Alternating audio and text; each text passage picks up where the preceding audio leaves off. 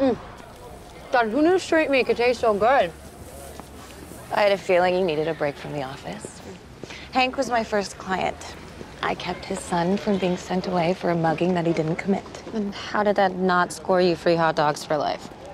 CNRI gives low-income people access to the legal system. Without them, his son could have gone to prison forever. I, I could have gone to prison too. He couldn't afford a dream team of super lawyers. So I'm supposed to feel guilty because I'm lucky enough to have a rich family? No, you are lucky. And hopefully CNRI will show you that. Hey!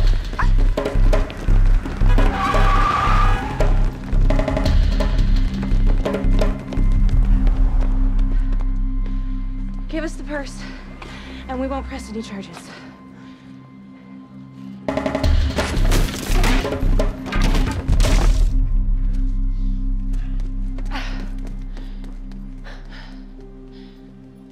Yeah, you're right. I really do feel lucky. This got snagged as he wilted over the fence. Looks like a chain from his wallet.